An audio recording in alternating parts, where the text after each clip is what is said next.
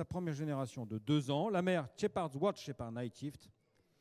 La mère Shepard Watts est une gagnante des Concord States groupe 3 quand même. Et Kotai Glory voilà, a déjà fait plusieurs gagnants en Angleterre. On va le découvrir ici en France avec ce 41 présenté par présenté donc par Hyde Park Stud, la mère gagnée groupe 3.